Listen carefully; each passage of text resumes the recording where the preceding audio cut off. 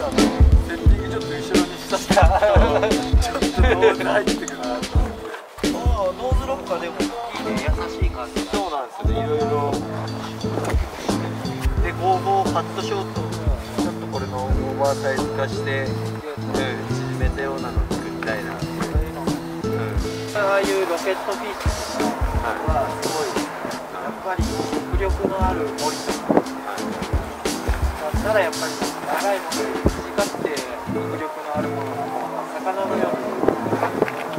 乗り込んだらあれ？っていい部分も出てくる。結局1本じゃ無理ってことですよね。ああるとね、うん、やっぱあると乗っちゃうんじゃないそのうち、うん、最近それに気づいんです1本で収めようとするのが間違いだなと思って、ね、その1本は1本でねメインは大事だけ